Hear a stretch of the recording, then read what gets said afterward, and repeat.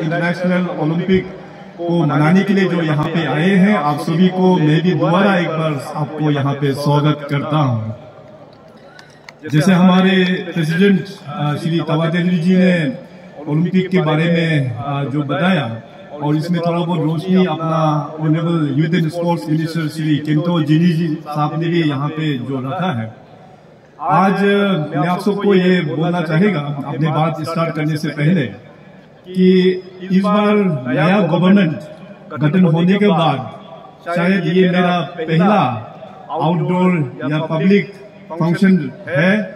और मैं अपने आप को बहुत ही खुशनसीब समझता हूँ कि नया गवर्नमेंट का पहला हमारा जो पब्लिक फ़ंक्शन है, वो इतने अच्छे फ़ंक्शन इंटरनेशनल ओलंपिक डे के इस अवसर पर और खास करके अरुणाचल के जो युवा पीढ़ी यंग जनरेशन आप सबके बीच में हमें यहाँ आने का मौका मिला है।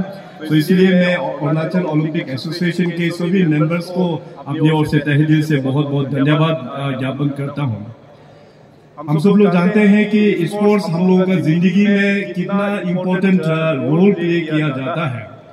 और खास करके अपने इस देश में, और जिस प्रकार से पिछले हम लोग दस वर्षों में देखे तो हम लोग इंटरनेशनल लेवल्स में चाहे वो कॉमनवेल्थ गेम्स हो, चाहे वो एशियन गेम्स हो, या चाहे वो ओलंपिक्स क्यों ना हो, बहुत सारा मेडल्स हम लोग ने जीत के इस देश के लिए अपना स्पोर्ट्स पर्सन लोग लेके आया है।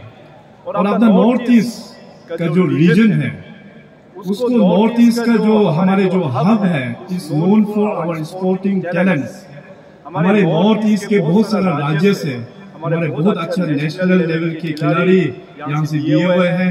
यही नहीं बल्कि इंटरनेशनल लेवल तक में भी नॉर्थ ईस्ट का खिलाड़ी जाके इवन एशियन गेम्स और इवन ओलंपियन भी नॉर्थ ईस्ट से बना हुआ है।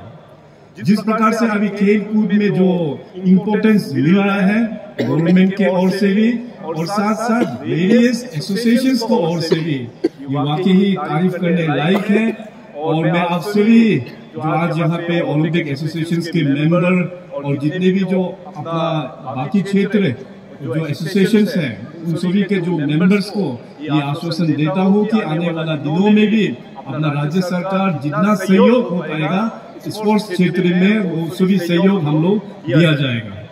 जैसे आज यहाँ पे गोल्डन जुबली स्टेडियम में जो अरुणाचल का अभी तक का सबसे बड़ा स्टेडियम है। और लास्ट टाइम यहाँ पे हमारा अरुणाचल प्रदेश फुटबॉल एसोसिएशन ने 77 संतोष ट्रॉफी यहाँ पे होस्ट किया था। और जिस प्रकार से अपने यहाँ के जो जनता ने जो सपोर्ट किया ये स्टेडियम वाकई में हमारे लिए छोटा पड़ गया तो इसलिए सरकार की ओर से मैंने उस वक्त घोषणा किया था कि आने वाला दिनों में अपना ईटानगर में इससे भी बड़ा स्टेडियम में बनाऊँगा। और आज मैं आप सबको ये बताते हुए बड़ा खुशी महसूस हो रहा है कि इससे भी बड़ा स्टेडियम का फ़र्स्ट फ़ेज़ जो है ऑलरेडी सैंक्शन भी कर दिया है। अरुणाचल प्रदेश में हमारा युवाओं का पास में बहुत ही टैलेंट है। हमारा हमेशा कोशिश रहा है पिछले आठ वर्षों में कि अपना स्पोर्ट्स पर्सन और अपना युवाओं को अच्छा प्लेटफॉर्म देने का। इसलिए राज्य सरकार की ओर से कई सारा इवेंट्स हम लोग ने राज्य सरकार की ओर से सपोर्ट करते हुए उसको हम लोग ऑर्गेनाइज किया। जितने भी हमारा जो स्पोर्ट्स रिलेटेड एसोसिएशन है, उसको हमारा स्पोर्ट्स एसोसिएशन ऑफ़ अरुणाचल के माध्यम से और स्पोर्ट्स डिपार्टमेंट की ओर से हम लोग सहयोग करते आ रहे हैं।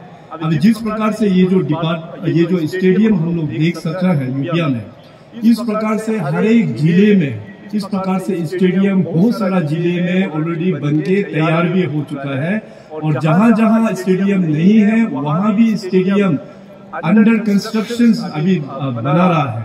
तो हमारा हमेशा ये कोशिश रहेगा कि युवाओं को अच्छा फैसिलिटी हम लोग देने के लिए। और खास करके जो नया गवर्नमेंट बनने के बाद जो पहला कैबिनेट मीटिंग हुआ तो वहाँ में citizen centric youth centric 24 pillars को ऊपर में मैंने डायरेक्टिव्स दिया कि 100 डेज़ के अंतर्गत इन सेक्टर्स में हम लोग पॉलिसी अनाउंस करेंगे। और हमारा युवाओं के लिए ये अच्छा बात है कि 100 दिन के अंतर्गत अरुणाचल प्रदेश में अपना यूथ पॉलिसी भी हम लोग लॉन्च करेंगे। जैसे मैंने कहा कि अरुणाचल प्रदेश का युवाओं का पास में बहुत टैलेंट है, चाहे वो स्पोर्ट्स में हो, चाहे वो बिज़नेस में हो। केवल सरकार के ओर से उनको हैंड होल्डिंग करना बहुत ही ज़रूरी है। सो आने वाला सौ दिन के बाद में यूथ पॉलिसी हम लोग अभी रिलीज़ करेंगे। और